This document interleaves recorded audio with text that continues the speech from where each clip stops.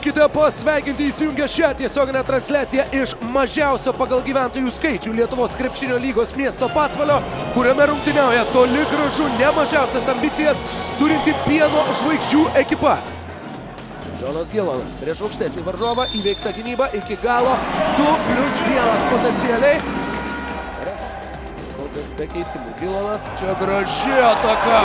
Ir Paulius Petrilevičius grūda kamuolį. Labai solidus jo pasirodymas kol kas. Jau aštuoni pelnyti taškai. Ir akimirka buvo la... Makleinas.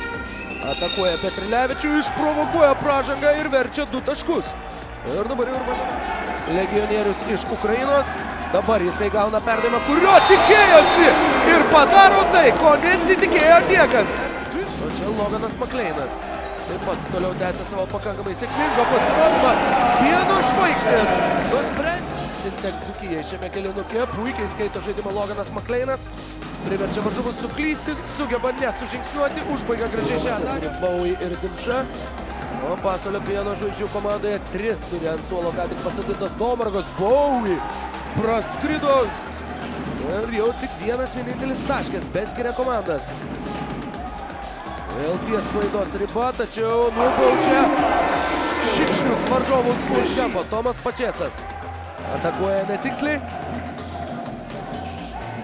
O čia Petrilevičius. Dar vienas jo stiprioji šio krepšininko žaidimo pusė. O čia taiklių tolimų metimų varžovus pavaišina Loganas Paulė. Kisielius turi tris rezultatyvius perdavimus.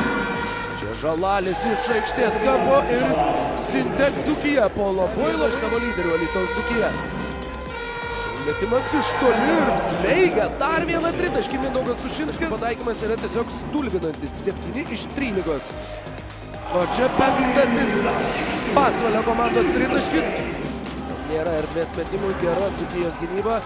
Gilonas pašokdina du varžovus, gražiai pragiša kamolį ir graži komandiška pasvalio pieno žvaigždžių ataka.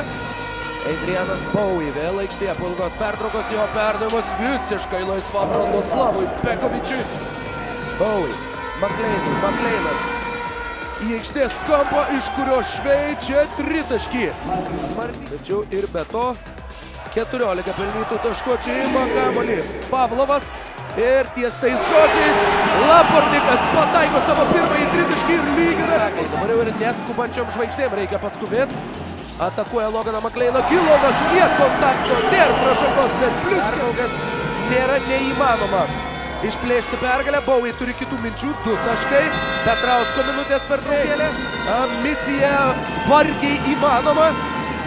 Bowie iš toli, metimas netaiklus ir pasvalio pieno žvaigždės švenčia pergalę. Antrą pergalę namuose per dviejas žaistas rungtynes.